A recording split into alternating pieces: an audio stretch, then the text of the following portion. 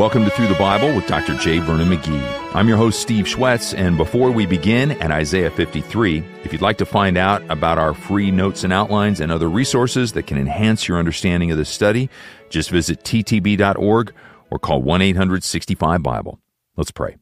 Heavenly Father, we come to you with humility and gratitude for the love that you showed us on the cross and then the grace that saves us today. As we study Isaiah's words, Lord, we're mindful of the work that you still want to do in our hearts, making us more like yourself. So we ask that you would fill us with your spirit and show us where we need to surrender to you, where we need to trust you, and then be open to your spirit's work in our lives. Thank you for welcoming us into your presence. We come in Jesus' name. Amen. Here's Dr. J. Vernon McGee's beautiful study of Isaiah 53 on Through the Bible.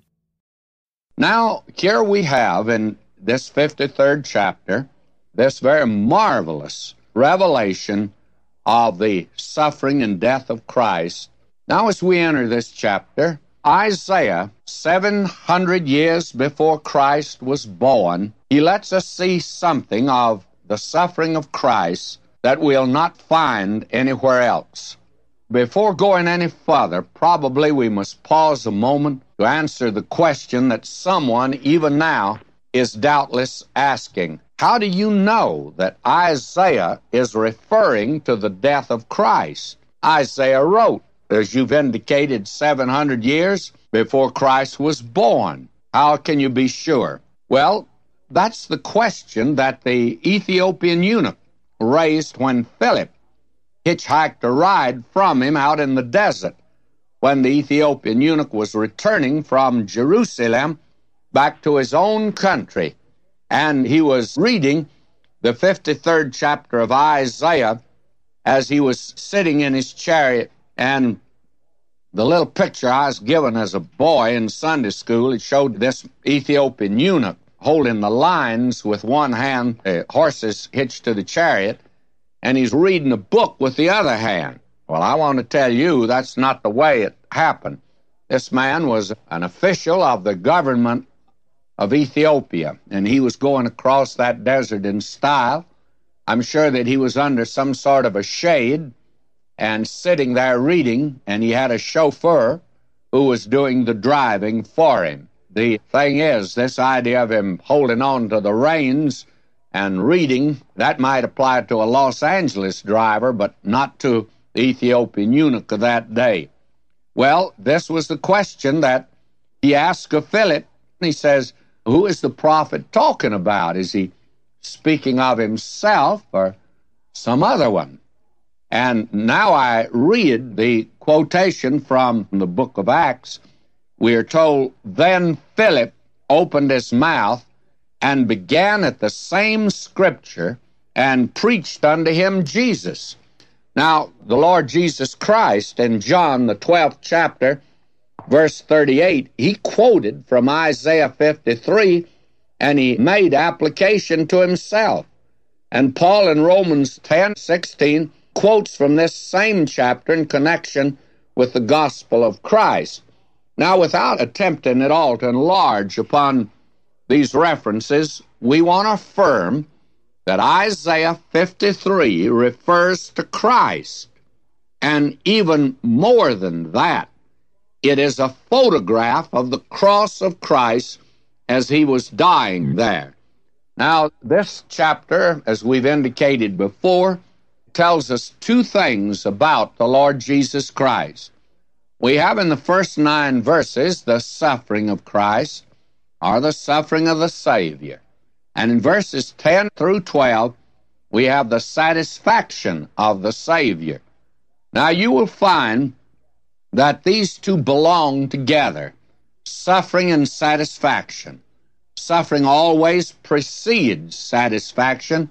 Too many folk today are trying to take a shortcut to happiness by attempting to avoid all the trying experiences of life.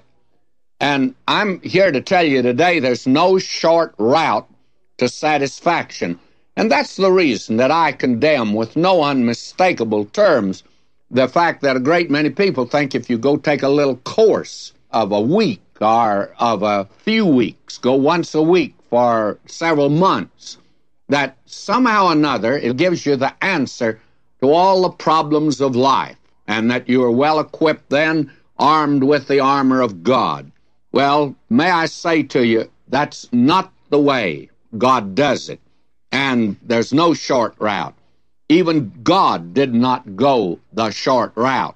He could have avoided the cross and accepted the crown. That was Satan's suggestion, you remember. But suffering comes before satisfaction always. And the phraseology bears various expressions. For instance, like this through trial to triumph. Sunshine comes after the clouds.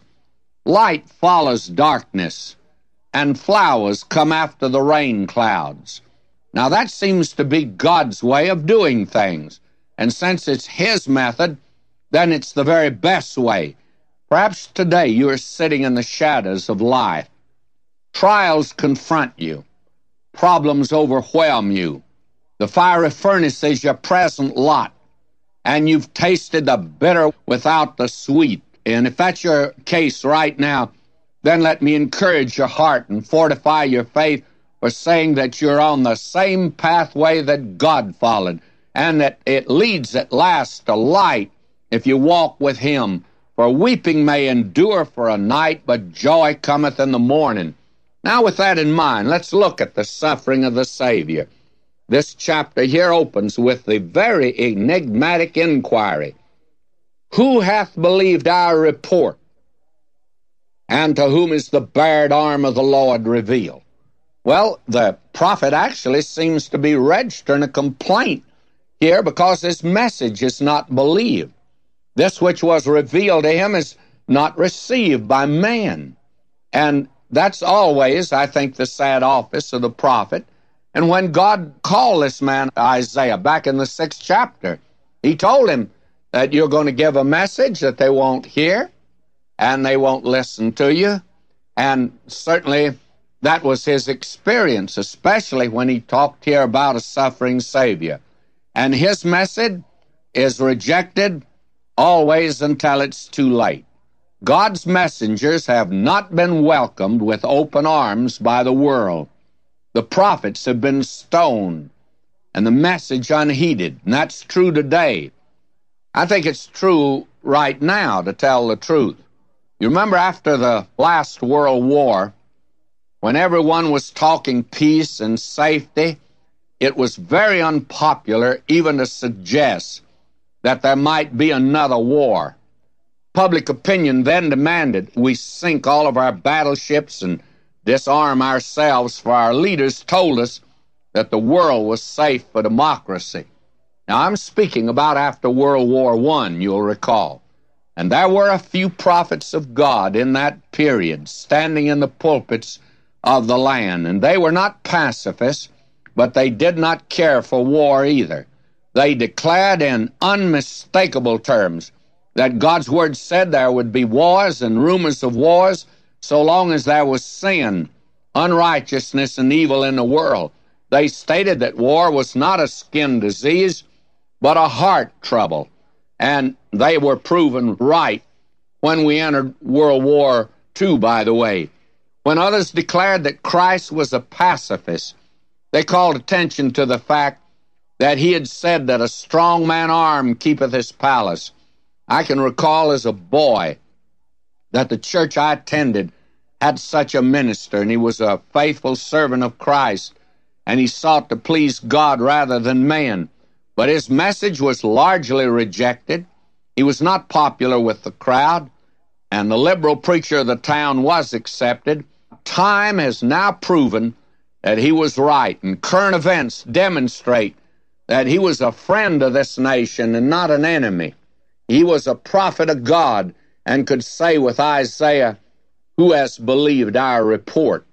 And today, we are overwhelmed by the marvelous response we've had to the radio. But every now and then, friends, we're reminded that we're in a Christ rejecting world. We've had several radio stations over a period now of several years. They put us off the air. You know why? They don't like our message. And one manager called in and he didn't want religion the kind I was giving. He wanted to know if wasn't possible to give something that was a little more cheerful, you know, that men were on the up and up, and it's onward and upward forever, and that things were not as bad as I seemed to think they were, that man was a sinner and that type of thing. Well, those incidents and experiences that come to us, they just remind us that we're in a Christ rejected world and we accept it as such and keep going and rejoice today that we have as large an outlet as we do. And I believe that there, right now in this nation of ours, many prophetic voices that are trying to call this nation back to God before it's too late. And in spite of that, though, the crowd is rushing headlong after another delusion, and they are following any Pied Piper of liberalism that comes along and toots a tune that they can jig by, and they feel like everything's going to be all right. Well, Paul said the preaching of the cross is to them that perish foolishness, and from ideas publicly expressed, we're given to know that there are many to whom the preaching of the cross is foolishness. Well, I'll admit there's a lot of foolish preaching, and I offer no apology for it. But God said that they would identify the preaching of the cross with foolishness, and therefore this message is a challenge to those folk for there is a reason for them thinking as they do. God says, The natural man receiveth not the things of the Spirit of God. They're foolishness unto him, neither can he know them, for they're spiritually discerned. And would that they would give God a chance to talk with him. But it must be remembered that God does not use man's methods and ways to accomplish things. God chooses the weak things of the world to confound the mighty, and the foolish things to confound the wise. And if we were to call in a specialist in a time of illness, we certainly would not expect him to use the same home remedies normally used by us. His procedure might appear foolish to us, but we would follow it faithfully. Then should we not accord to God the same dealing of fairness as we do to the specialists? But we still have to say with Isaiah, Who has believed our report? And to whom is the bad arm of the Lord revealed? Now, there's a very definite reason, therefore, why men do not believe in God's gospel.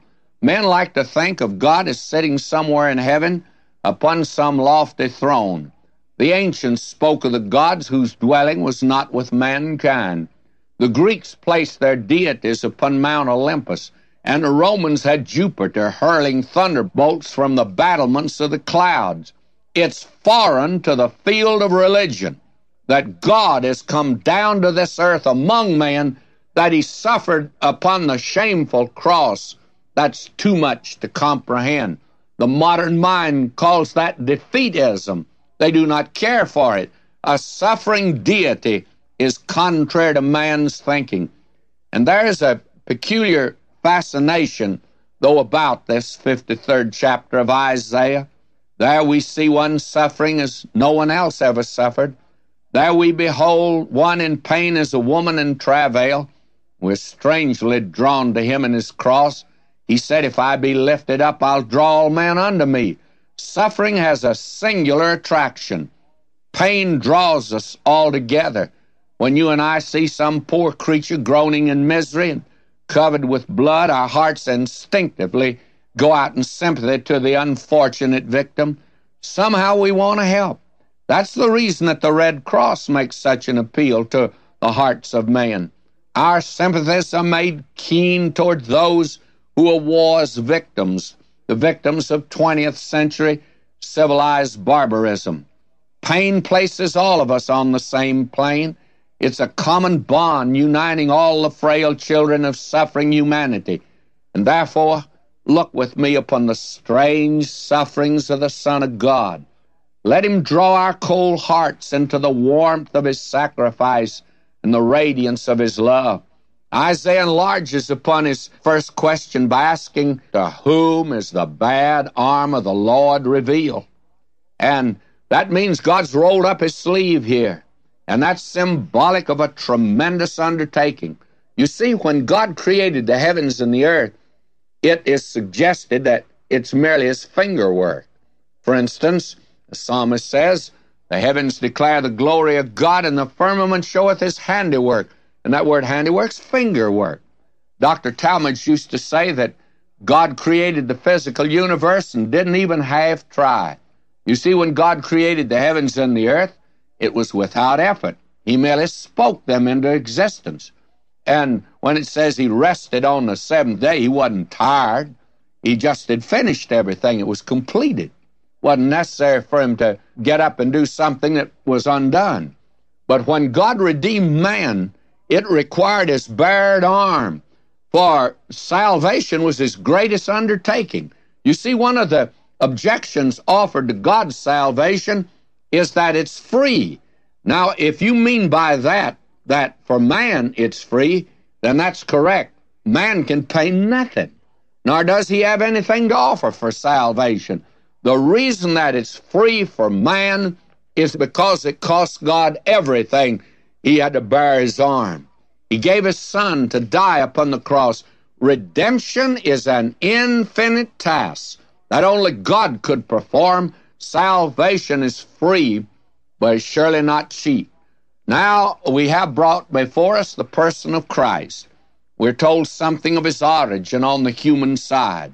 Isaiah says here in verse 2 of the 53rd chapter, For he shall grow up before him as a tender plant, and as a root out of a dry ground.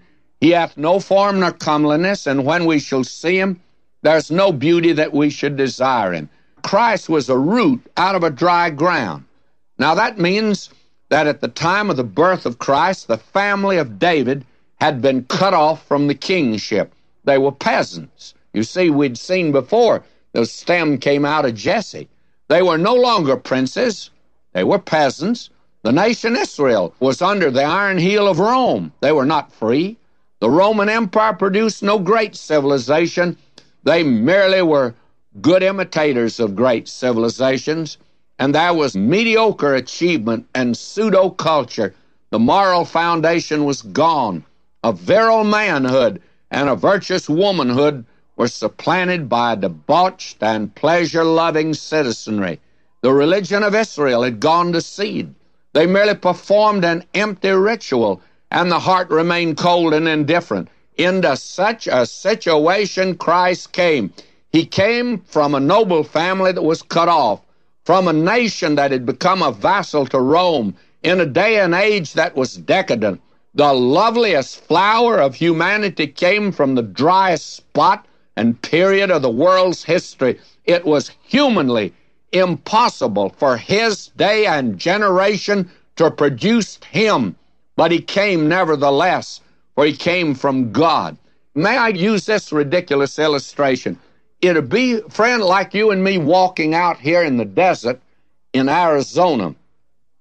And I don't say California because you can't tell, though, the difference when you leave California and go in Arizona, friends. It's desert, and you can't get it any drier than that desert is. Now, suppose you and I were walking across that desert, and dry, not a green sprig anywhere. And all of a sudden, we came upon a great big head of iceberg lettuce growing right out of that dry, dusty soil. You and I, we'd be amazed. We'd say, How in the world can this head of lettuce grow out here? And it would be a miracle. Well, the coming of Christ was just like that. That they could never produce him. And that is the thing that evolution has always tried to get rid of is the Lord Jesus and who he is because humanity can't produce him. And yet he came into humanity. Evolution could never turn out a Jesus. If it did, why hadn't it turned out another one? The interesting thing is, he's different. Therefore, he's the root out of a dry ground. Now that prophet focuses our attention immediately upon his suffering and death upon the cross. He hath no form or majesty. And when we shall see him, there's no beauty that we should desire him. That is in the second verse of the 53rd chapter also. And now some have drawn the inference from this statement that Christ was unattractive and misshapen in some way. Some even dare to suggest that he was repulsive in his personal appearance. That cannot be true because he was the perfect man, and the Gospels do not countenance nor even lend support to any such viewpoint.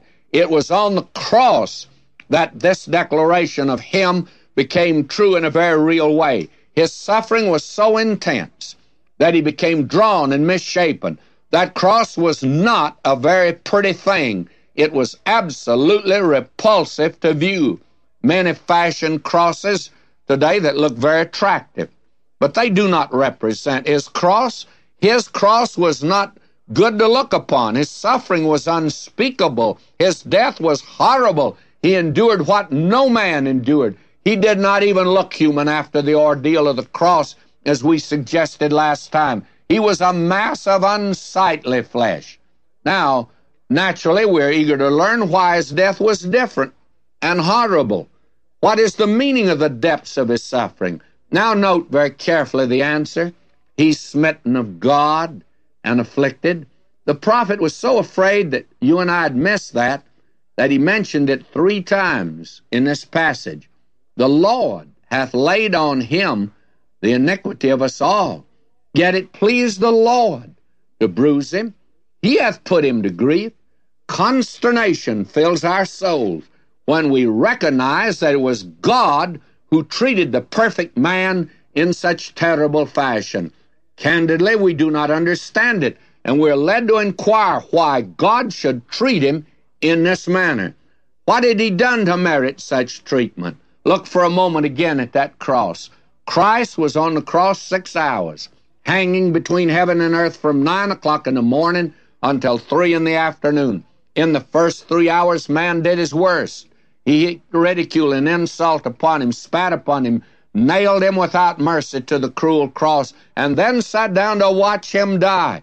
At 12 o'clock noon, after he'd hung there for three hours in agony, God drew a veil over the sun and darkness covered that scene, shutting out from human eye the transaction between the Father and the Son. For Christ became the sacrifice for the sin of the world. God made his soul an offering for sin. He was treated as sin, for we are told that he was made sin for us who knew no sin. If you want to know if God hates sin, look at the cross. If you want to know if God will punish sin, look at the darling of his heart enduring the tortures of its penalty. By what vain conceit can you and I hope to escape if we neglect so great a salvation? That cross became an altar where we behold the Lamb of God taking away the sin of the world. He was dying for somebody else. He was dying for you and me. Listen to the prophet here. But he was wounded for our transgressions, he was bruised for our iniquities.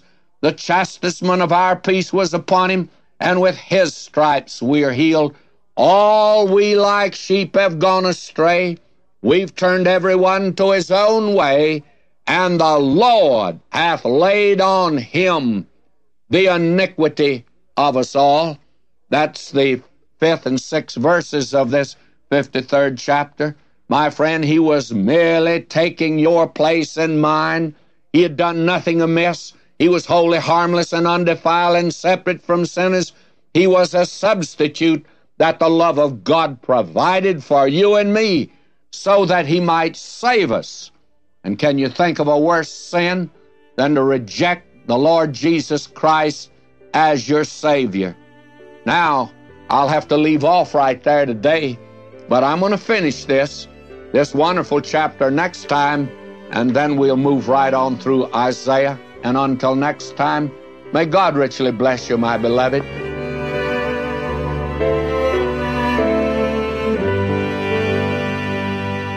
I'll see you next time as our study of Isaiah 53 continues right here on Through the Bible. In the meantime, if you've got any questions about this ministry or you want to know more about God's wonderful offer of salvation that we heard about today, call us at 1 865 Bible or visit ttb.org and search for How Can I Know God? Or you can always write to Box 7100. Pasadena, California 91109. In Canada, Box 25325, London, Ontario N6C 6B1. I'm Steve Schwartz, grateful for your company on the Bible Bus as we study God's whole Word together.